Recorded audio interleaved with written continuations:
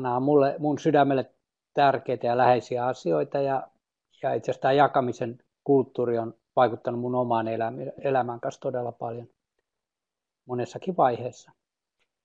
Tota, tietysti tämän digitaalisen ajan mukana niin monet asiat, tämä jakaminen on helpottunut monella tavalla. Mutta jos mennään niin kuin pitemmälle tuonne taaksepäin, niin mä luulen, että tämä on ollut aika tyypillistä, tai yksi niistä tekijöistä, miksi ihminen on menestynyt niin hyvin maapallolla on just se jakamisen kulttuuri. Mä olen ehdottomasti sitä mieltä. Itse asiassa sitten on tainnut olla jotain tutkimuksiakin sen suhteen, että itse asiassa tota, juuri tämä yhteistoiminta eikä kilpailu on se juttu, jolla menestyy elämässä ja evoluutiossa. Hyvä. Ja tosiaan tota, tämän päivän aihe on tämä sharing is caring. Ja tota, nyt katsotaan nimenomaan ehkä opettajan työssä ja sen kehittämisessä. Se on niin kuin vähän se näkö, näkökulma. Mutta oikeastaan syvällisemmin niin se on aina kyse oppimisesta. Ja tota, oppiminen on mun mielestä tosi sellainen syvällinen pro, prosessi, että se vaikuttaa kaikkeen ihmisessä. Ja se, on, se alkaa syntymästä ja loppuu kuolemaan, jos kuolema on loppu. Tietysti siinä on vähän erilaisia näkökulmia. Joku voi ajatella, että se jatkuu taas seuraavassa elämässä eteenpäin. Mä itsekin vähän ajattelen sillä tavalla. Tosiaan se on tosi tärkeä asia. Oikeastaan elämä voisi ajatella, että se on oppimista. Ja kun siihen ää, otetaan mukaan tämä jakaminen, niin se jakaminen tuo siihen sen, että välitetään muista, halutaan auttaa muita. Ja sitten se on just niin, että yhdessä me ollaan enemmän kuin yksi. Yes. Tässä mulla ekana on tämä avoimet oppiresurssit. Tämä on tämä logo. Siinä oli vähän erilainen logo aikaisemmin, mutta tämä on nyt se mikä on nyt muutamia vuosia ollut tainnut olla se virallinen logo, ja tämä on sen suomenkielinen versio avoimista oppiresursseista. Ja tota, ekana voitaisiin katsoa, että miten se oikein määritellään. Että Wikipediasta löytyy tällainen määrittely, tämä on mun mielestä itse asiassa aika hyvä, koska tämä on tota, pystytty kiteyttämään hyvin lyhyeseen ja sitten myös siinä mielessä, että tota, kuka vaan ymmärtää, mitä tuossa oikein sanotaan, eikä siinä ei ole mitään ihmeellistä jargonia, pienen piirin jargonia, johon me nörtti-ihmiset helposti niin tota vähän erehdytään, puhutaan sitten sellaisella hienolla kielellä, että kaikki ei välttämättä ymmärrä, mitä ne termit tarkoittavat. Tuossa se on mun mielestä hyvin selkeästi sanottu. Eli kyse on tosiaan opetuksessa käytettävistä sisällöistä, jota kaikki voivat vapaasti luoda, uudelleen käyttää, sovittaa ja jakaa. Ja tänään luin just yhtä, taisi olla blogikirjoitus, kuinka olkaa Facebookista sen huomasin, jos oli tota, puhuttiin siitä, kun nyt ollaan oltu huolissaan, miten nämä mobiililaitteet ja tietotekniikka niin tota, vaikuttaa addiktiivisesti ja haitallisesti ihmiseen. Niin tota, siinä oli mun mielestä tosi hienosti otettu se esiin, että, tota, että se, ää, se paras lääke tähän ei välttämättä olekaan se, että sä nyt rupeat pitää jotain paastoa näistä ää, tota, välineistä ja laitteista, vaan että miten niitä käytetään. Ja silloin se vastuu siirtyy paitsi sille käyttäjälle myös niille, jotka suosit, niin kuin tota, suunnittelevat näitä palveluja. Eli jos nämä palvelut aiheuttaa ihmiselle onnellisuutta ja helpottaa hänen elämäänsä, tekee siitä mielekkäämpää, niin silloin ei varmaan voida puhua addiktiivisuudesta. Addiktiivisuus liittyy siihen, että jos niistä on oikeasti haittaa ihmisen elämälle.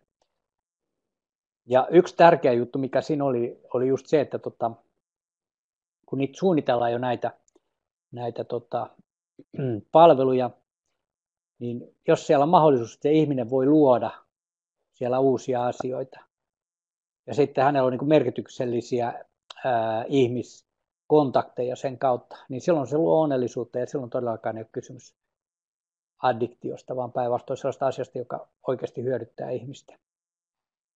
Tietysti se on tärkeää myös, kun sitä suunnitellaan, että ää, sinne ei, sitä ei tehdä sellaiseksi, että ihmisen on oikeastaan vaikea jättää sitä kesken, vaan että se on just sellainen, että sä käytät sitä sen aikaa, kun sitä tarvitset ja sitten sun, sun, se siirrytään se onkin muuhun juttu, että sä käytät sitä aikaa järkevästi. Joo. Että nythän pyritään siihen, että ihminen pitäisi sitä laitetta mahdollisimman pitkään kädessä ja olisi jossain tietyssä sovelluksessa mahdollisimman pitkä ja se ei välttämättä ole mikään hyvä asia. Tämä oli tosi kiva.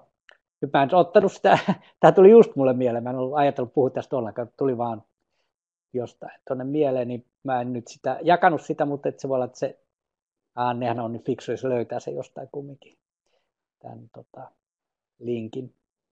Ja kiitos Anne on jo jakanut tuonne muun muassa tota, perusopetuksen wikiloikkaa, josta me tänään puhutaan vielä tarkemmin. Okei, eli luoda, sitten voi uudelleen käyttää.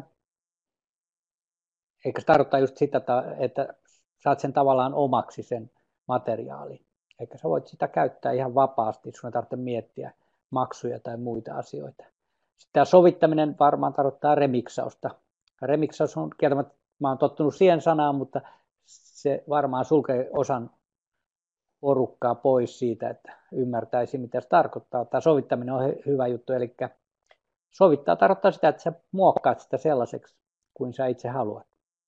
Ja sitten tietysti sä voit jakaa sitä edelleen muille ihmisille ja jakaa sitä hyvää eteenpäin.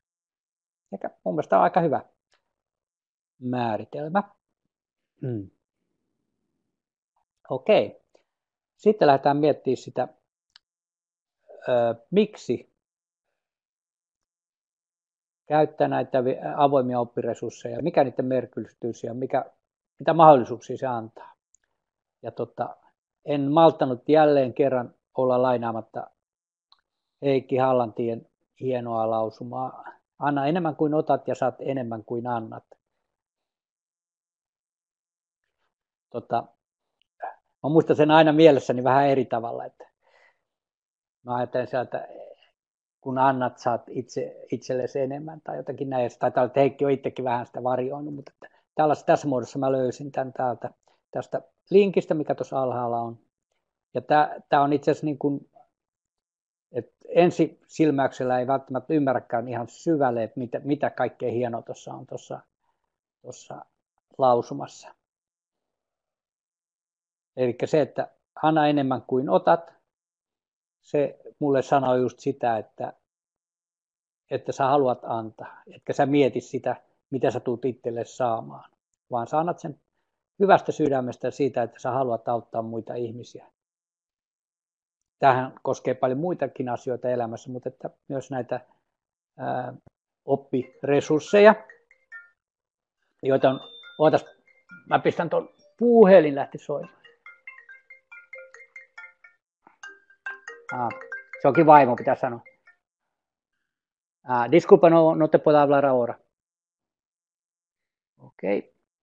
Samalla panton hiljaiseksi noin. No niin. Eikä siinä jäi vähän teksti kesken. anna enemmän kuin otat, joo. Eikä anna hyvästä sydämestä ja, ja kun sä teet sen, niin niin kuin sanotaan, mitä, mitä sä lähetät maailmankaikkeuteen, niin se tulee sulle takaisin. Se, mitä sä kylvät, niin sitä sä niität. Ja se on jännä juttu, kun sä lähetät jotain hyvää asiaa ympärille, niin sä saat sen takaisin moninkertaisena. Mä uskon tähän erittäin vahvasti. Ja just silloin se antaminen on sellaista, että sä et ajattelet sitä, mitä sä tulet itse saamaan, vaan sä annat sen ihan hyvästä sydämestä. Mä haluan auttaa muita ihmisiä ja tehdä hyviä asioita. Se, se ei haittaa, vaikka sä tiedät, että sieltä tulee sitten myöhemmin tota, moninkertaisesti takaisin, mutta se ei ole oikeasti se motivaatio, miksi sä haluat jakaa, vaan sä haluat jakaa ihmisille asioita sen takia, koska sä haluat oikeasti auttaa. Sulle tulee hyvä olo siitä, että sä autat ihmisiä ja jaat, jaat sun tekemiä juttuja. Ja samalla sä parannat tätä maailmaa koko ajan. Eikä tällaisia ajatuksia mulle herää tästä Heikin hienosta lausunnosta. Heikkihän varmaan on nyt taas tässä sometutapaamisessa. Mä en tällä kertaa itse taida mennä sinne. Joo. No niin, mennään eteenpäin. Miten sitten voisi jakaa? Okei, nyt mun vaimo laittaa viestejä. Mä laitan sille vielä äkkiä, että mä en voi, koska se odottaa, että mä kävisin hakemassa sen. Se ei onnistu. Joo, sori vaan mä joudun tekemään tämän tässä.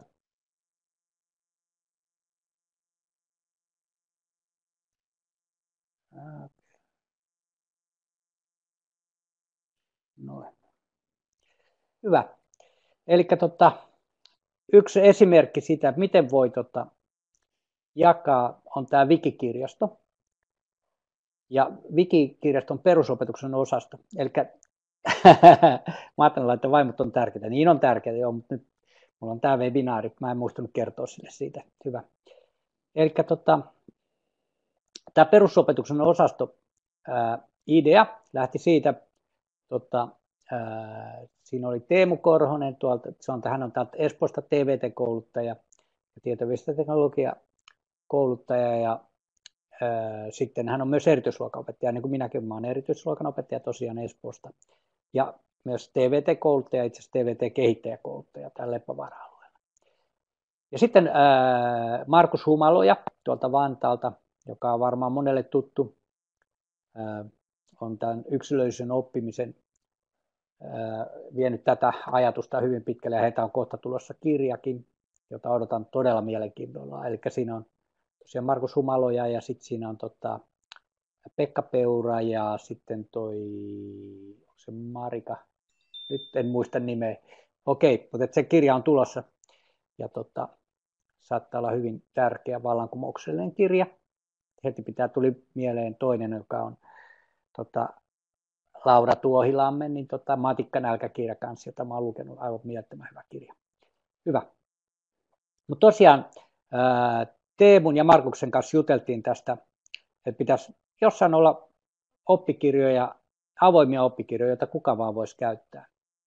Ja tota, mä oon itse tehnyt aika paljon tuonne Wikiopistoon juttuja ja jonkun verran myös Wikikirjastoon. Olen sinne Wikipediankin tehnyt. Ja tota, mä itse ehdotin, ehdotin, että se Wikikirjasto voisi olla hyvä paikka. Tehdään sinne se oppikirjasto.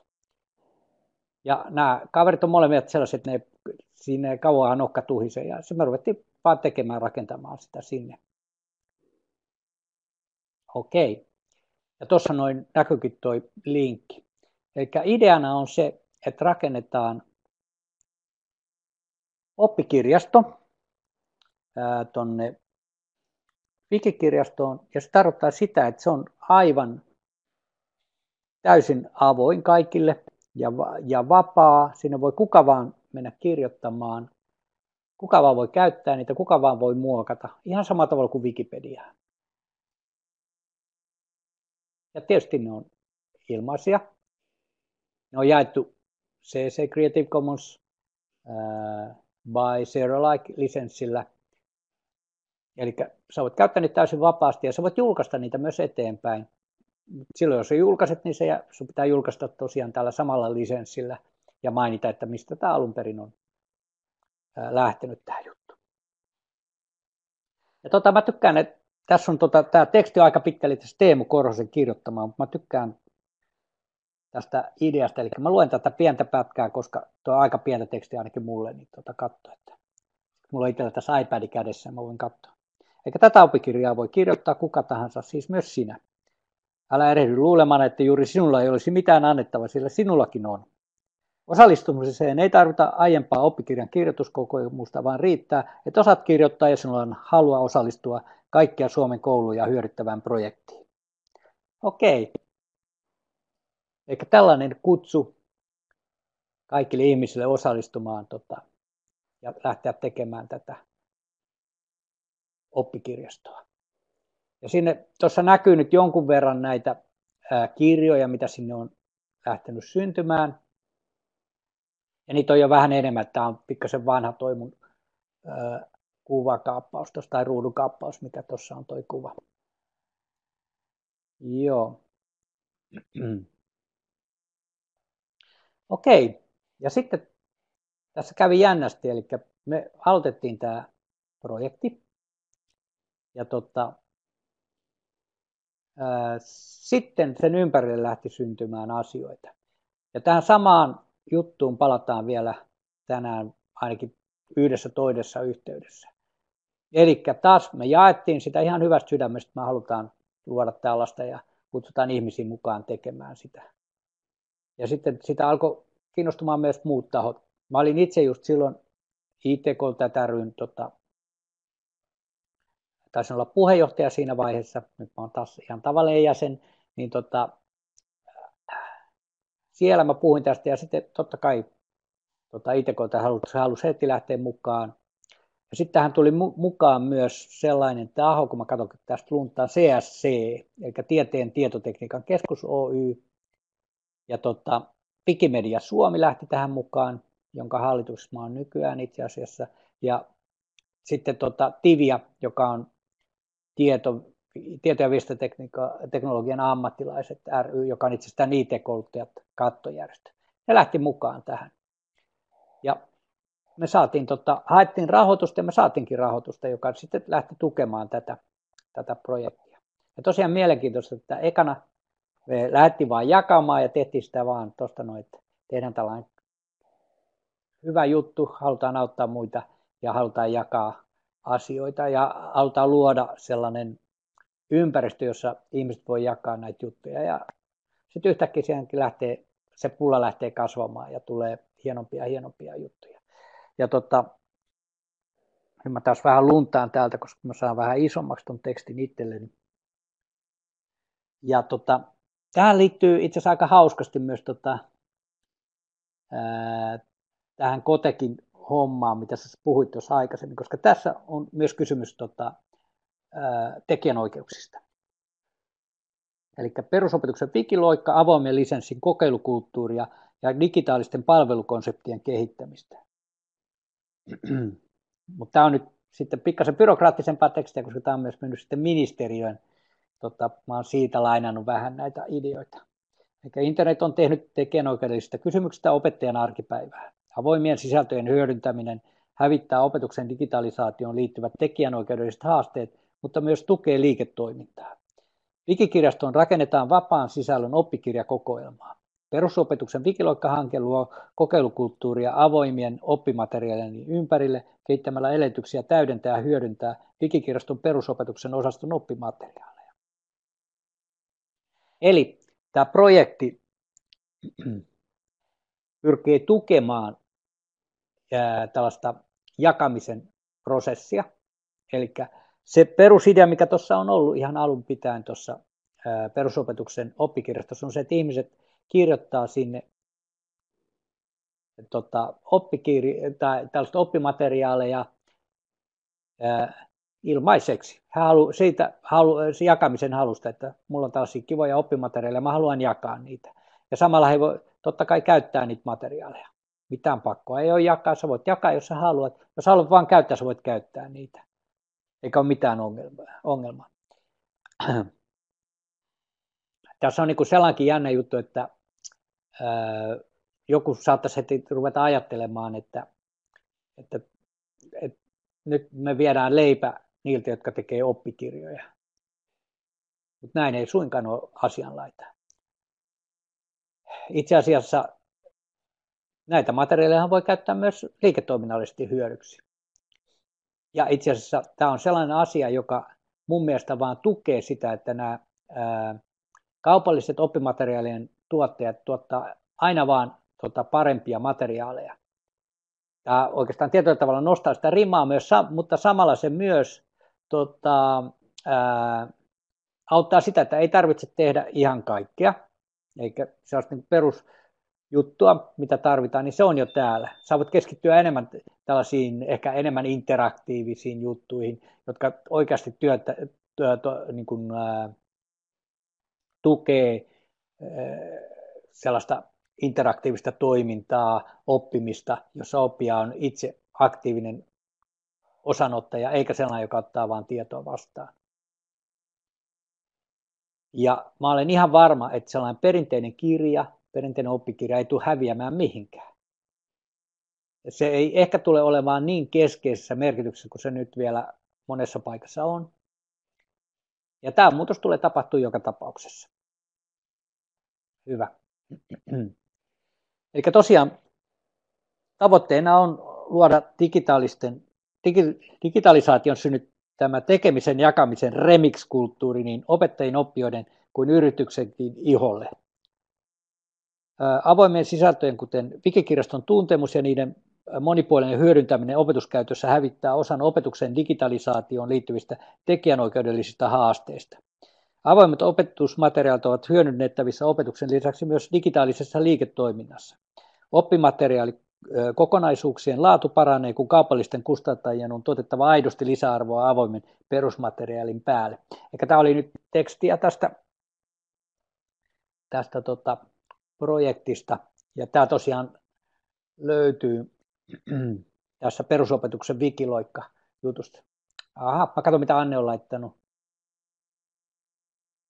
Kiitos, tuossa tuli se tulevan kirjan tota, linkki. Kiitos Anne. Eikä nuo tavoitteet oli aika pitkälle sitä, mitä mä tuossa puhuinkin, ja, ja tämä mielenkiintoinen kysymys, joka liittyy siihen, että viemmekö mahdollisuudet liiketoiminnalta tässä asiassa, ja mä väitän, että ei viedä, vaan päinvastoin se on osana rikastamassa tätä.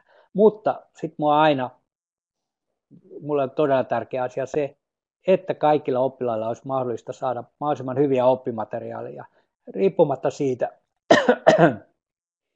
missä päin Suomea asuu ja asuuko rikkaassa kunnassa vai köyhässä kunnassa.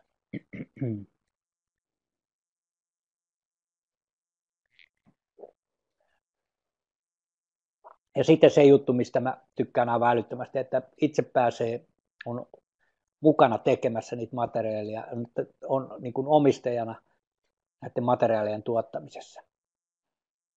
Hyvä juttu. Ja sitten mennään eteenpäin.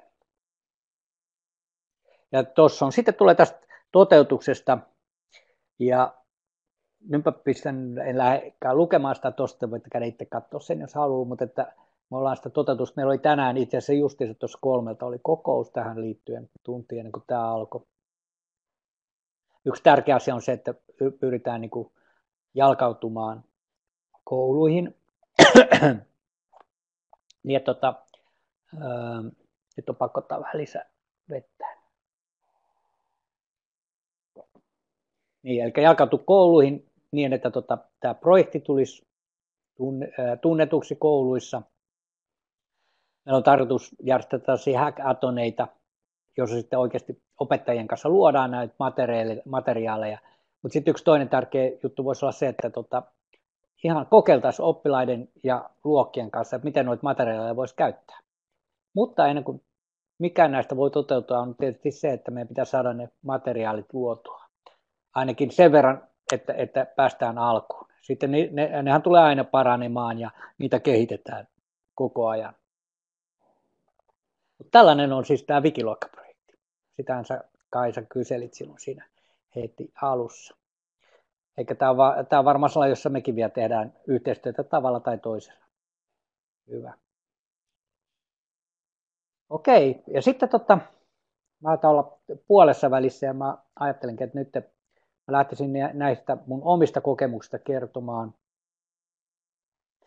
Itse asiassa Anne taitaa kertoa huomenna myös omista kokemuksistaan.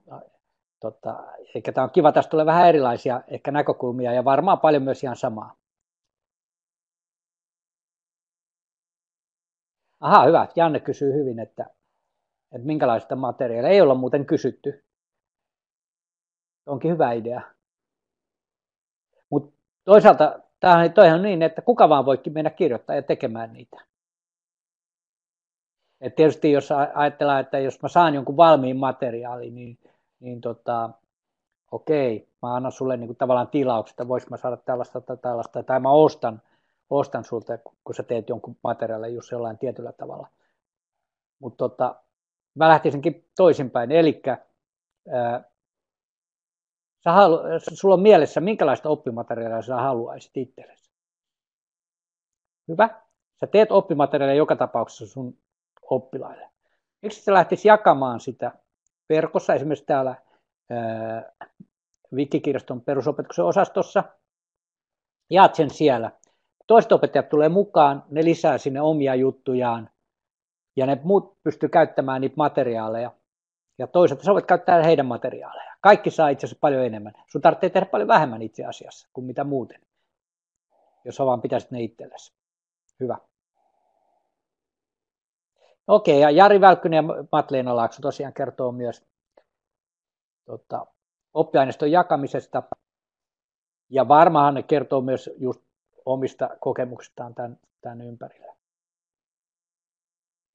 Ja mä ajattelin kertoa tämän oman Scratch-klubi-tarinani, joka on mulle tosi tärkeä ja, ja tota, lähti tietyllä tavalla muistuttaa aika paljon tuota, mitä mä kerroin äsken tuosta perusopetuksen osastosta wikikirjastossa. Paitsi että tämä tapahtui jo aikaisemmin, että tässä on jo muutamia vuosia aikaa. Mä en itse asiassa pannut edes ylös niitä päivämääriä, koska mä oon mitäkin tehnyt, mutta kyllä ne löytyy jostain. Mutta joka tapauksessa mä lähdin tekemään, tai siis juttu alkaa näin, että ää, seikkailin netissä ja kokeilin kaikkea jännää ja olin kuin, kuin Liisa Ihmemaassa ja tota, mä törmäsin tähän koodaamiseen ja, ja ka, ka, kokeilin kaikki erilaisia kursseja ja kaikkea tällaista näin.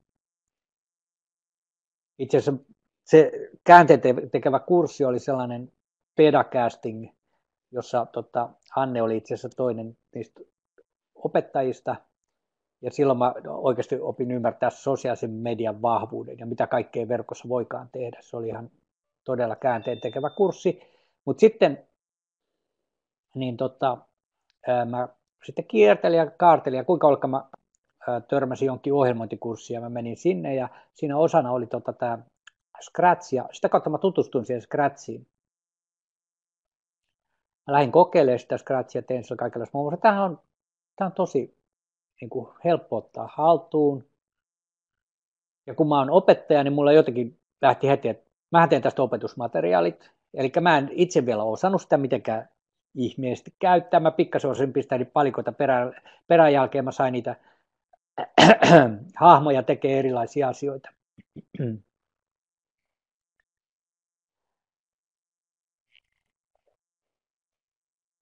mä rupesin vaan kylmästi tekemään siitä heti oppimateriaalia ja mä teen sen heti niin, että mä jaan ne ilmatte, ilmatteeksi verkossa CC-lisensoituna. Itse mä tein sen alun perin niin tuonne tota, Google Sitesiin. Ja silloin oli vielä Scratchista sellainen vanhempi versio käytössä, jolloin Scratchia vielä tota, se ladattiin omalle koneelle ja niin edelleen. Ja tota, mä teen tämän ja tota,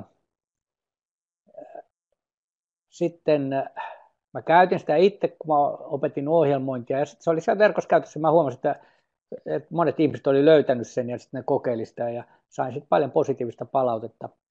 Se, se niin kuin jännä juttu siinä koko siinä Scratch Clubin idea jutussa oli se, että, että mulle tuli sellainen tosi vahva pedagoginen idea siinä. Eikä mä lähdinkin siitä, että, että mä en opeta perinteisellä tavalla ollenkaan, vaan mä opetan antamalla ongelmia. Eli koko se Scratch-klubi perustuu siihen, että sä saat ongelman. Ja kun sä ratkaiset sen ongelman, niin sä opit ne asiat tietyssä, ää, tietyllä rakenteella. Eli mä oon miettinyt sen, miten ne tehtävät rakentuu eteenpäin. Ja sun taidot niin kasvaa sitä mukaan, kun sä ratkaiset niitä. Mutta siinä ei ole ollenkaan sitä, että mä näytän sulle, että teen näin ja sitten sä teet perässä. Mä itse asiassa kerron mahdollisimman vähän siinä, että, että, että, niin kuin tota, ettei se tule liian helpoksi se ongelma. Ja just sen takia, että niin oppii itse etsimään asioita, kysymään ja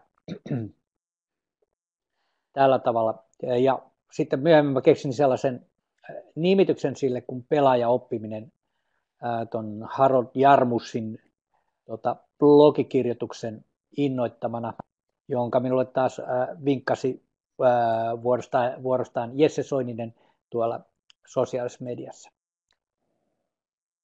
Ja tota, se pelaajaoppiminen, mä en nyt puhu siitä pitempään, koska mä oon pitänyt siitä paljon, paljon juttua, mutta ihan se perusidea on just siinä, että asetetaan ongelma ää, tota, jolla, jolla itse se ratkaisu on yleensä aika avoin, eli siinä ei ole yhtä oikeaa ratkaisua, niin kuin ohjelmoinnissa aika harvoin onkin. Sulla on mahdollisuus tehdä se monella eri tavalla.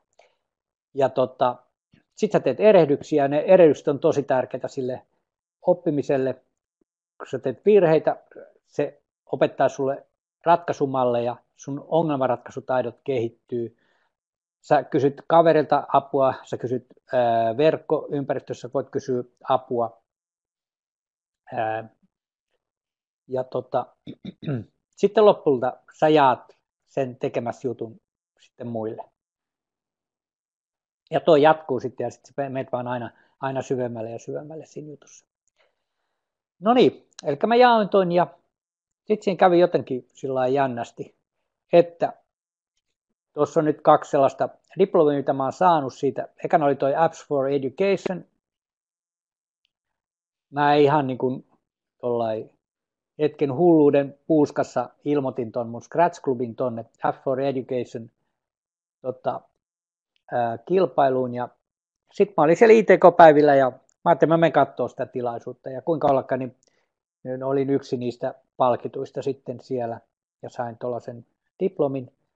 Mä olin aivan onnessani. Onnesta mykkyräisellä enkä todellakaan ikinä osannut odottaa tota. Ja sitten myöhemmin niin tota, tästä Scratch-klubista syntyikin sitten, se tuli osaksi koodiaapinen paljon isompaa hanketta, jolla ihan tietysti lähdettiin kouluttamaan ohjelmointia suomalaisille oppilaille. Mä katson, mitä Anne on laittanut tuon.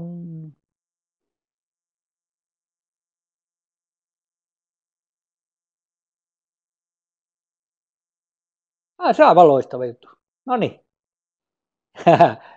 ja kiitos tuosta esikuvista, mutta et, mun täytyy sanoa, että oot aina ollut mulle esikuva. Että, että kyllä sitten jaetaan vaan eteenpäin. Että tota, hyvää, hyvä ja Tarmo Toikkanen tosi tärkeä esikuva kanssa ollut näissä, näissä jutuissa. Ja tota, itse asiassa Tarmo Toikkanen on myös todella tärkeä hahmo tässä koodiaapinen, miten koodiaapinen syntyi. Tosiaan mä pääsin ITK-kouluttajiin mukaan hallitukseen ja siellä syntyi sitten idea, että tehdäänkin tällainen ohjelmointikurssi. Me oltiin niin kuin huolissamme siitä, että miten ohjelmointi lähdetään opettamaan.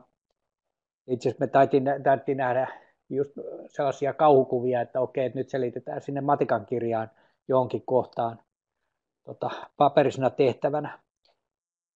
Ja itse asiassa me on nähty, että näinkin on myös käynyt. Mutta tota, toisaalta myös tota, nämä kustantajat on ottanut tästä todella kopin ja he ovat myös rakentaneet omia, omia tota, ohjelmointikurssejaan.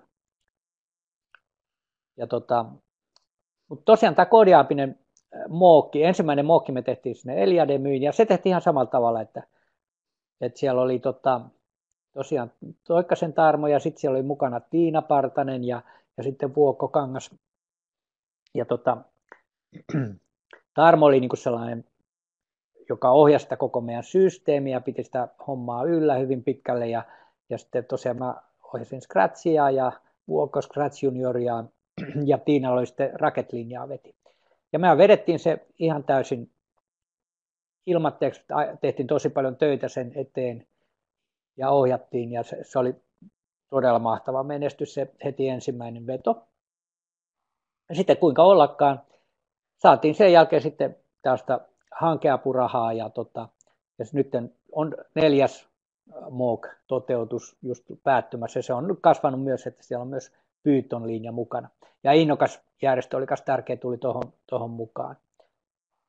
Et nämä on aika jänni juttu, että lähtee jostain pienestä ideasta, jonka sä lähdet toteuttaa. Sä et, sä et pelkää, vaan sä uskallat esittää sun juttuja, jos sulla on vaan hyvä idea. Ja sä jaat sen ilmatteeksi. Ja sitten sieltä vaan rupeaa tulee myös sitä rahallista juttua päälle, joka on, totta kai se on ihan ok, ei siinä mitään, mutta se ei ole todellakaan ollut missään vaiheessa se juttu, mitkä takia tota on lähtenyt, vaan ihan oikeasti halusta tukea opettajia tämän ää, uuden oppisisällön tota, omaksumisessa ja, ja miten sitä opettaa oppilaille. Ja itse asiassa mulle tärkein juttu siellä taustalla on se, että tota, ää, ajattelun taitojen kehittyminen. Ja mä näen, että ohjelmointi on mulle se on luovaa taidetta. se mahdollistaa sulle ihan mielettömiä juttuja, mitä sä voit tehdä tietotekniikan avulla.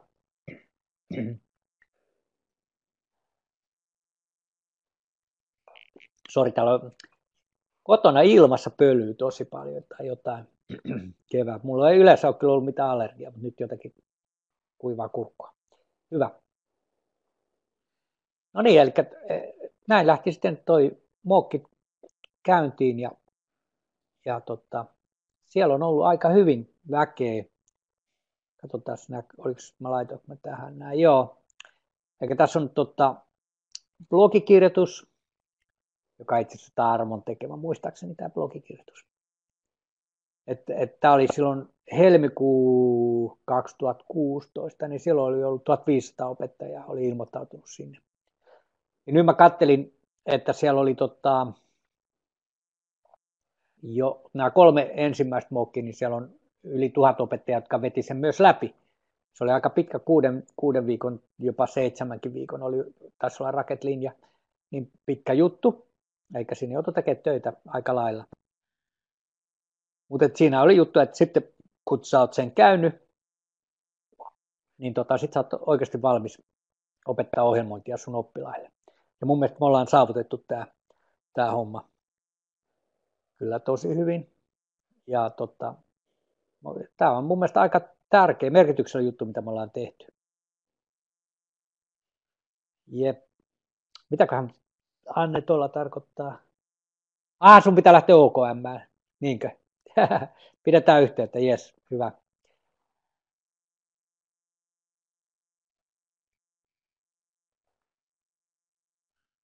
Ai OKM Tero, joo okei. Okay.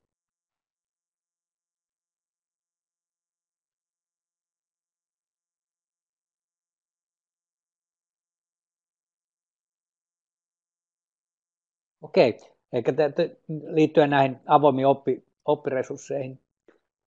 No yksi tärkeä juttu on tosiaan toi Wikiloikka-projekti, perusopetuksen tota, juttu, mutta et, ja sitä mä oon ajatellut, että se voisi hyvin laajata siitä eteenpäin vielä niin kuin lukioon, ehkä ammatilliselle puolelle, ehkä yliopistoon. Siinä ei oikeastaan mitään rajoja.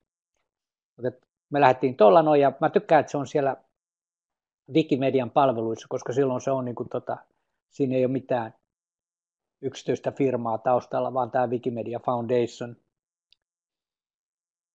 Joo.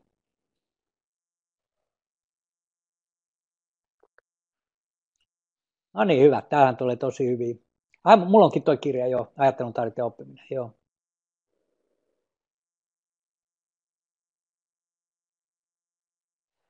Toi hy- hyvä huomio, Matleena. Mä, mä itse, kun mä pidän koulutuksen, niin mulla on aina CC-lisenssi ihan joka, aikoissa, aino, aiko, joka ainoassa koulutuksessa. Nyt mä huomasin äh, positiivisen yllätyksen. Mä viimeksi kysyin sitä mun koulutuksessa, niin se oli enää muutama, joka ei ollut kuullutkaan tästä asiasta. Että mä muistan, kun mä aloitin, niin silloin se oli ehkä hyvä, jos yksi oli kuullut koko CC-lisensseistä.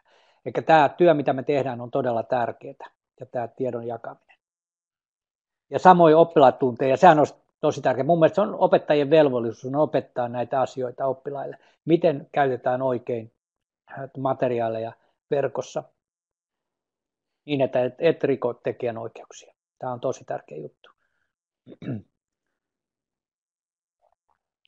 Okei. Okay. Sitten mulla on tästä tota, tavallaan tällainen filosofinen osuus tässä lopussa. Tämä on tästä tainnut olla koko ajan.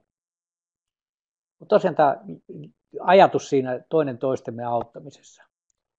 Ja itse asiassa tässä me tehdään mun mielestä niin kuin onnellisempaa maailmaa, kun me lähdetään siitä, että, että tota, jaetaan ja autetaan toinen toisiamme.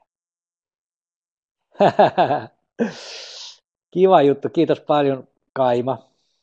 Okei, okay. yes. Hyvä, palataan asiaan tota, nämä asiat on mua, mua sydäntä lähellä. Okei, ja sitten tota, mä laitoin tuohon kanssa, että paitsi tämä toisten auttaminen, että samalla me lyödään, luodaan sitä henkilökohtaista oppimisen verkostoa. Tämä niin kuin Personal Learning Net. Se on mulle tosi, todella tärkeä.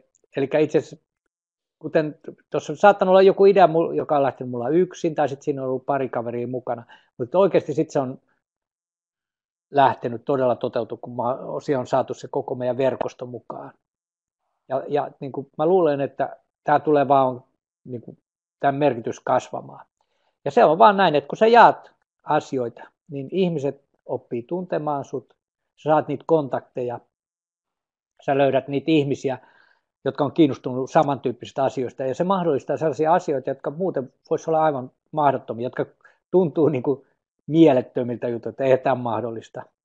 Et mäkin olen niin ihan kylmästi vaan, että mä oon innostunut jostain jutusta, mä lähden vetämään sitä juttua, mulla, mä en tiedä yhtään, e, että tuleeko se epäonnistumaan, onko sillä mitään mahdollisuuksia onnistua tai ei.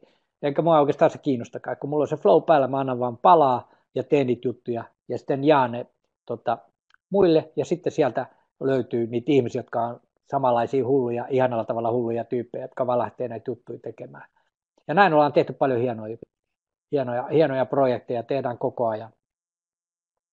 Ja osa näistä projekteista ne välillä ne kuivuu, ja, mutta se on, se on kanssa ihan ok. Ei silloin, se pitää kokeilla uusia juttuja, tehdä, lähteä ja just rakentaa sitä verkostoa.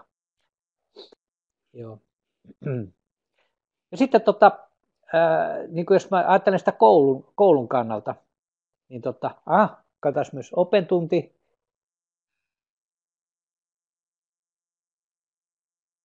Hieno homma, joo.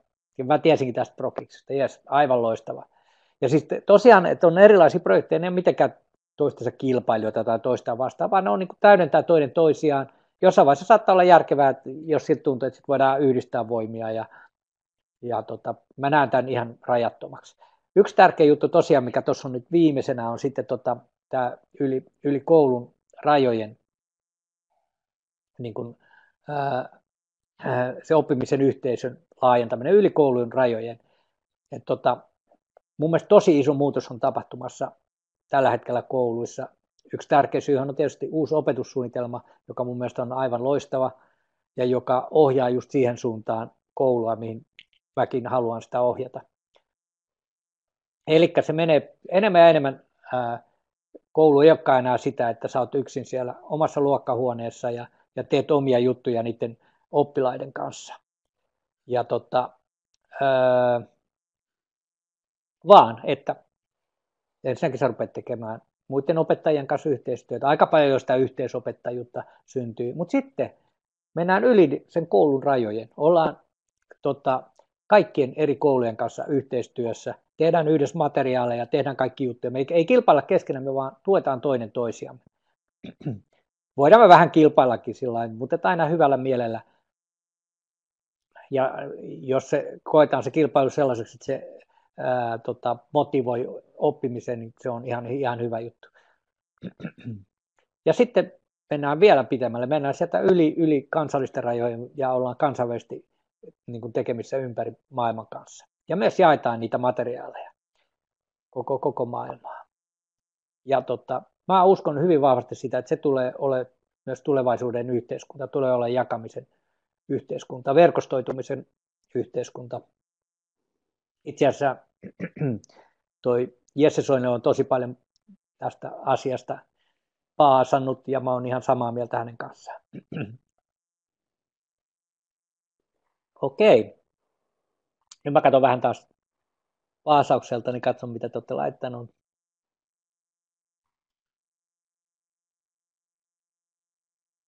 Just näin. Todella hyvä, hyvä Anne, jo tämä kaverilta toiselle leviäminen.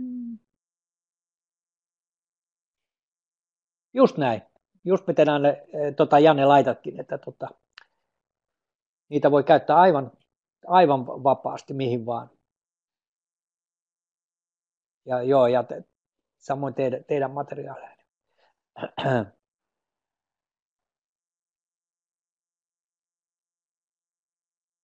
Totta, toi mitä Anne sanoi, että pakko on tosi huono moottori.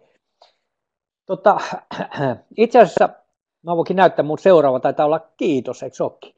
Totta, mä ajattelen, koska tässä on nyt niin mielenkiintoista keskustelua käynnissä tässä ää, keskusteluareenalla, me voitaisiin siirtyä ihan tota, käyttää mikrofonia, olisiko se ihan jees?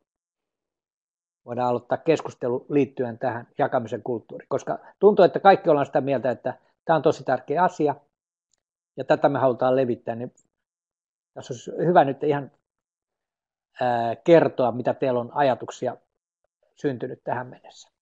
Mä yritin tuolta nostaa noita oikeuksia niin, että nyt pitäisi näkyä siellä ylärivissä teillä tuo, tuo, tuo, tuo vanhanaikaisen mikrofonin, radiomikrofonin kuvake, että sieltä vaan ääntä, ääntä käyttöön ja hallintaan ja ääneen kysymään ja juttelemaan.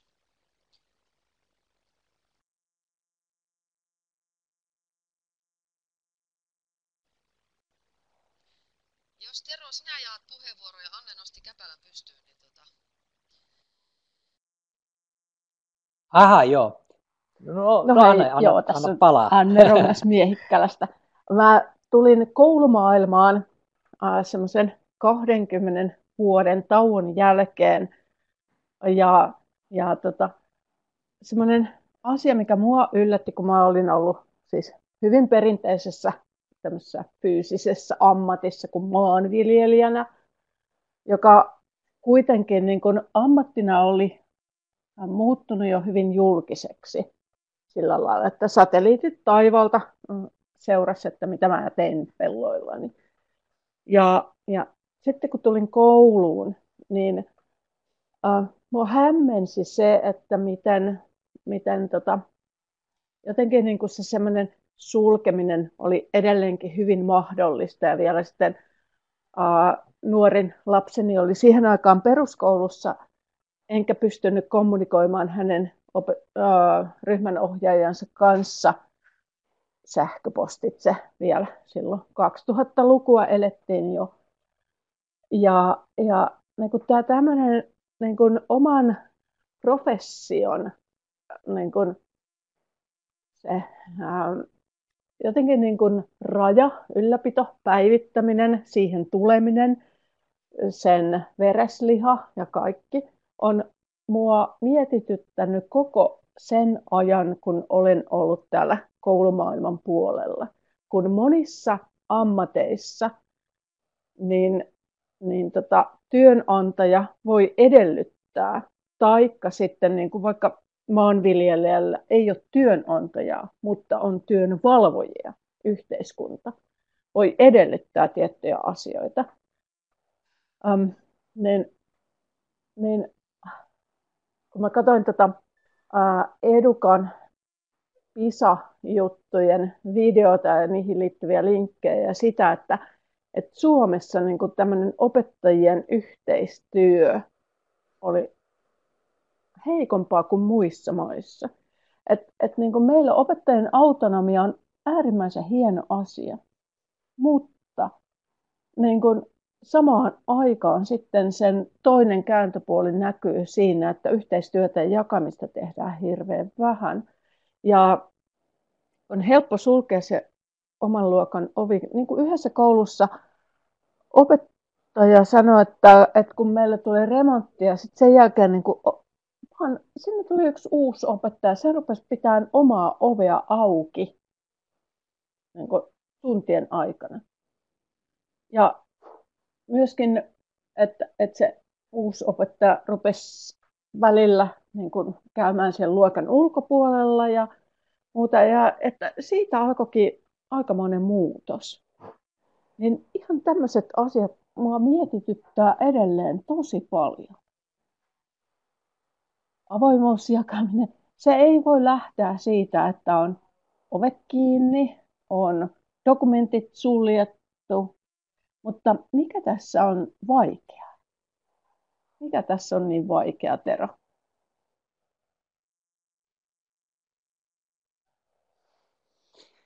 Joo, se on hyvä kysymys.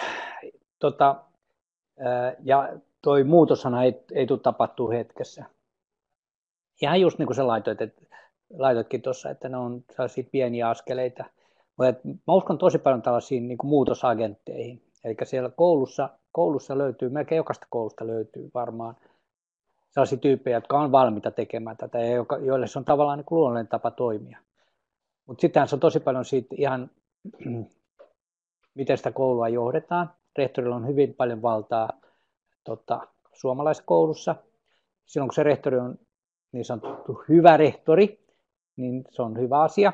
Mutta sitten jos se rehtori onkin sellainen, että, että hän, häntä, hänen niin kuin ei halua tätä uudistumista tapahtua, niin silloin se pystyy kyllä tosi paljon vaikuttaa sen toimintakulttuuriin myös, että miten, miten tämä asia etenee. Ja tota, mä, mulla on itsellä onni olla sellaisessa koulussa, mä puiston koulussa tosiaan Espoossa, että, tota, että meillä toimii ihan älyttömän hyvin, ainakin on käynyt siellä, on nähnyt sitä. Mutta sielläkin on osa opettajia on sellaisia, että ne, ne taas, se ei ole heille se tapa, millä he haluaa toimia. Ja nyt vähän niin kuin esimerkiksi tämä uusi opetussuunnitelma vähän puoli väkisin pakottaa toimimaan näin. Ja tota, siinä mielessä, vaikka mä en pakosta kauheasti tykkää, niin, niin toi opetussuunnitelma, niin se on hyvä, että se niin kuin ohjaa sitä toimintaa siihen toimintakulttuurin muutoksen suuntaan ja nimenomaan tällaiseen yhteistoiminnalliseen ää, lähestymistapaan jakamiseen.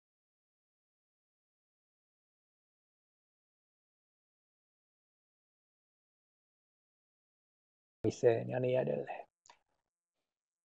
Mutta ei tuohon ole olemassa yksinkertaista vastausta. Mä uskon siihen ää, tota, esimerkkiin ja sieltä kannustetaan niitä opettajia, jotka lähtee tähän ja kannustetaan opettajia lähtemään mukaan.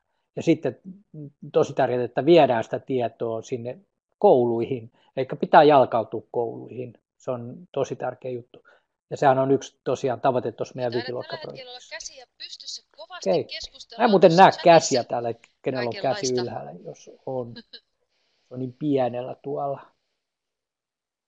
Näet sä Kaisa sieltä? Tuolla Siiri kysyi noista Jarko Sjömanin jakamista kuvapankeista ja mä Siiri kävi äkkiä tuossa itse tota, Niin joo, mä kattelen täältä chatista. Joo. noilla käynyt, niin ainakin osassa lukee, että saa vapaasti käyttää mihin haluaa, mutta sitten mun mielestä jossakin oli sitten rajoituksia, että niitä täytyy vähän aina tarkistella.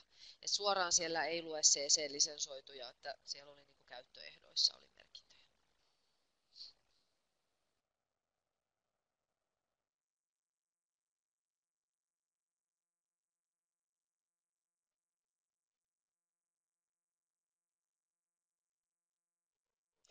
Joo, toi on muuten tärkeä juttu. Pitäisi oppia käyttämään noita CC-lisenssejä, ihan oikeasti käyttää niitä. Ja tämä oli tämä yksi, mistä Tarmo kirjoittikin näiden videoiden ongelmasta. Eli nyt varmaan suurin osa suomalaista opettajista, jos vaan käyttää tota tietotekniikkaa, niin tahtomattaan rikkoo siinä lakia. Eikä ei saisi näyttää tota näitä videoita, ellei ne ole CC-lisensoituja. YouTubesta esimerkiksi varmaan, mistä eniten näytetään, mikä on täysin älytöntä, koska ne materiaalit on nimenomaan monesti tarkoitettu opetuskäyttöön. Jos niitä ei ole CC-lisensoita ja, ja, ja se voidaan katsoa, että se on elokuvateos, niin silloin itse asiassa rikotaan tekijäoikeuksia, mikä on tosi huono homma. Tota, äh, mulle tuli tässä yksi juttu, mitä mä ajattelin näyttää, on niin tota, ja on muuten yksi hyvä esimerkki mitä, miten voi käydä. Eikä tänään mä rupesin vihdoin ja viimein viemään tuonne tota, Wikikirjastoon sellaisia materiaaleja, joita toi Samuli Turunen oli antanut meille, että voitte viedä ne sinne, että hän on tehnyt näitä materiaaleja, ää, tota, jotka liittyvät kemian yläkoulun juttuihin. Mä nyt vähän rupesin tekemään sitä, se on itse asiassa tosi hauskaa hommaa. Siinä menee aikaa, kun se pitää tosiaan siis viedä sinne wikisyntaksiin, eli sinne pitää vähän laittaa, niin kuin justeerata sitä tekstiä, voi ihan kirjoittaakin, eli ei, ole, ei tarvitse tuntea wikisyntaksia ja antaa sitten, että joku muu tekee sitten nämä tota, muotoilut. Mutta sitten myös mä hain kuvia ja sellaisia, koska ne kuvat on mun mielestä tosi tärkeitä ja se tekee sitten paljon miellyttävämmäksi sen oppimisympäristön. Voitte käydä kurkkaa tota, jos haluatte, niin tuosta, mitä esimerkiksi se voisi olla ne wikikirjaston sisällöt. Sieltä, sieltä löytyy jo, jo, jo siis tosi tota, pitkälle tehtyjäkin materiaaleja, mutta paljon vielä puuttuu. Yksi, yksi sellainen, mitä mä oon tota, itse, mulla on tarkoituksena, tällainen hurja suunnitelma, että mä tota, tekisin sinne ää, matematiikasta sellaisia materiaaleja, joilla voi, niin kuin, ettei, sä et enää tarvitse mitään kotiläksyjä, joista mä en muutenkaan tykkää kauheasti, vaan voit mennä sinne tekemään tehtäviä, ja ne on tehty sillä tavalla, että ne on äh, ohjelmoitu niin, että se on joka kerta erilaiset tehtävät, eli se oikeasti mittaa sitä, että oletko sä ymmärtänyt sen jutun vai ei. Sitten mä halusin se vielä pitemmälle, että se olisi niin kuin, ää, kehitysyksilöllisesti, eli sen mukaan, miten sä vastaat, niin, tota, niin sit se joko vaikeutuu tai helpottuu se materiaali, ihan niin kuin pelimaailmassa, ja sitten edetään leveleittäin ylöspäin. Ja samalla, että se mahdollistaisi niin kuin yksilöllisen oppimisen. Tällainen haave mulla on, ja mä opiskelen koko ajan lisää koodaustaitoja, ja mä pystyn toteuttamaan sen. Ja periaatteessa pitäisi onnistua JavaScriptillä sen, siellä myös sen wikikirjaston sisällä. Mutta tosiaan tällainenkin prokkis mulla on. Näitä on aika paljon. No niin, onks, katsotaan, onko se, oliko käsi pystyssä?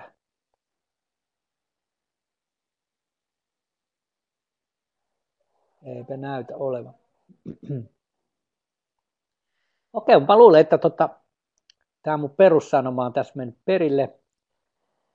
Tosi musta tuntuu, että tämä porukka, jolla mä kerroin tälle, niin ei kauheasti tarvinnut tota, tästä palopuheita pitääkään.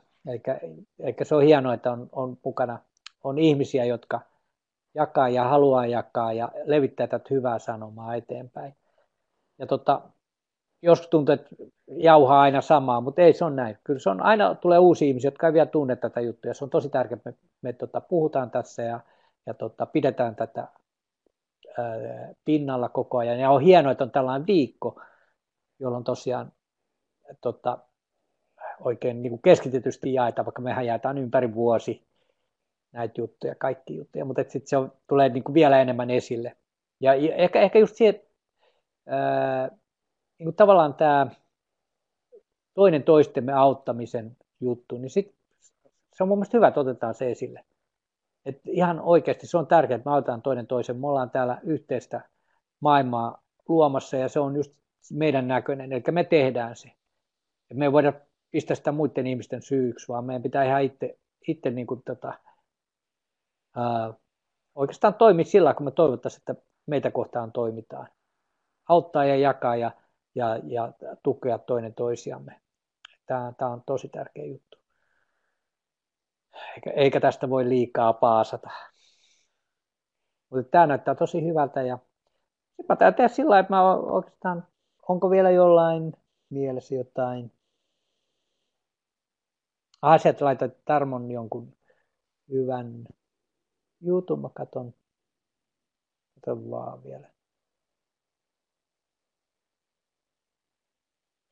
Hyvä juttu Suvi, joo. Käy, käy se, koska se on ihan oikeasti, niin tota, sit opettaja, opettajalle tarvitsee miettiä, että tuleeko tästä jotain ongelmia, kun käytetään.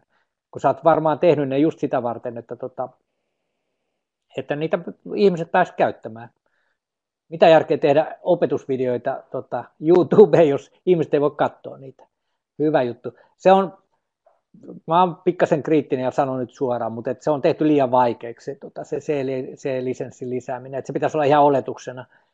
Itse asiassa jopa SlideShareissa, kun, missä mä jaan ja missä moni muukin meistä jakaa noita juttuja, niin sielläkin pitää mennä erikseen vielä asetuksesta etsimään se, että se ei tule heti siinä oletuksena, kun sä lataat sen sinne.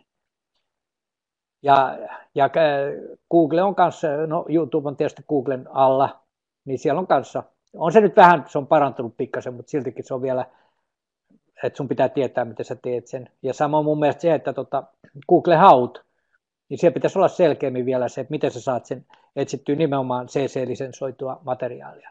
Että kuvaosa se nyt löytyy, kun sä osaat mennä työkalut ja etsiä sieltä mutta että aika harvasta suoraan, suoraan niin osaa tehdä.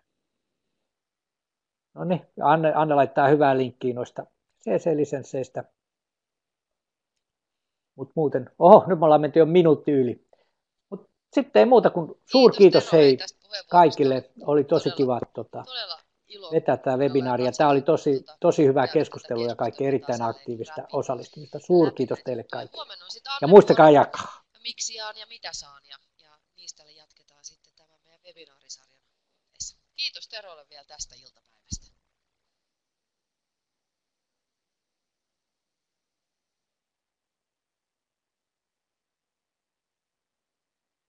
No ilman muuta tulee tallenne, niin sitten kommentoit jälkikäteen. Mutta hei, tosi paljon hyviä linkkejä. Joo, kiitos paljon. Harmi, kun mä oon huomenna, mä oon opettamassa tuohon aikaan, niin mä en, mä en päästä Anne juttu katsoa, mutta siitähän tulee sitten tallenne, niin voi tulla käydä katsomaan myöhemmin.